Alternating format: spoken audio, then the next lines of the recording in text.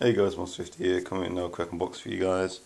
This time of uh, Ricky Science. Um, now, I have his other films, his other stand-ups in the post, um,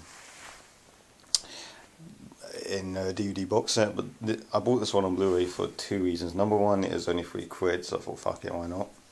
Number two, this is actually the first stand-up uh, performance I saw live.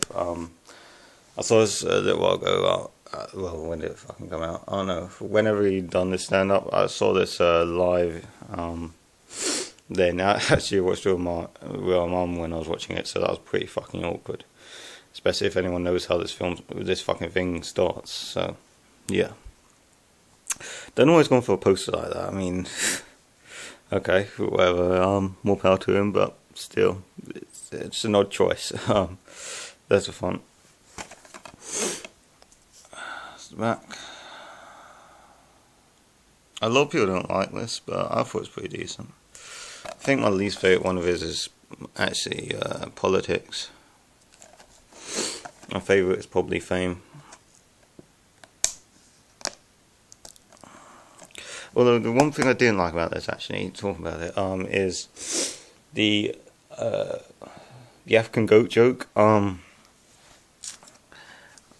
I remember seeing that. I think it was really funny when I uh, saw it. Saw him doing stand up. A little while later, though, I saw the Ricky Gervais show, and Carl Pilkington actually came up with that joke, and he just uh, and the whole idea of the Ricky Gervais show is he's him and Steve Merchant taking the piss out of uh, Carl Pilkington because they think his ideas are stupid. Yet the fact he used one of his jokes in here for his own personal gain after laughing at his joke and telling him it's stupid, it, I don't know. It seems a bit cruel to me and bit two faced, but I don't know. It's okay to use your own, use your friend's joke for your personal gain when you've already taken the piss out of how bad you think their joke is. And he didn't mean it as a joke, actually. I mean, he meant it seriously. Um, then we basically turned it into a joke. But talking of which, oh god, man, got a cold, guys. So. Oh, just working up. Oh, shit.